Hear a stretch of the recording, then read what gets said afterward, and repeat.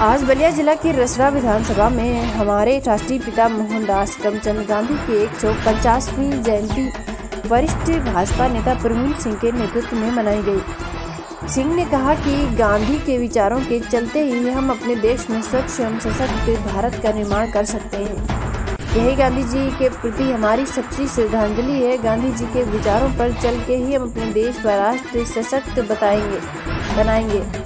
ठाकुर मंगल सिंह ने हिंसा छोड़, अहिंसा अपनाने और अहिंसा के मार्ग पर चलने का आह्वान किया।